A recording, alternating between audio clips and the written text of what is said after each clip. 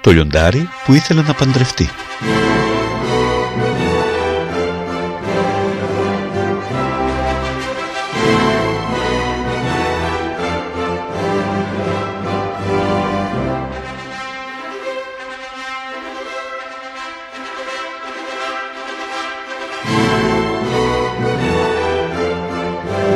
Κάποτε ένα λιοντάρι αγάπησε την όμορφη κόρη ενός χωρικού και τη ζήτησε από τον πατέρα της.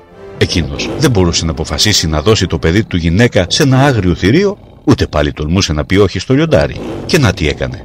Είπε στο λιοντάρι πως το θεωρεί μεγάλη του τιμή να κάνει γαμπρό του ένα τόσο άξιο και όμορφο παλικάρι.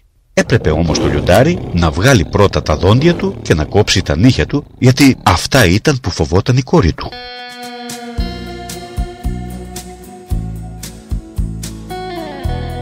Το λιοντάρι για χάρη της νύφης δέχτηκε πρόθυμα να του βγάλουν τα δόντια και να του κόψουν τα νύχια. Όταν όμως πήγε να ζητήσει πάλι την κοπέλα, βγήκε ο χωρικός με ένα ρόπαλο στο χέρι, το άρχισε στο ξύλο και το πέταξε έξω. Επιμηθείων. Την παθαίνει όποιος κάνει ανοησίες.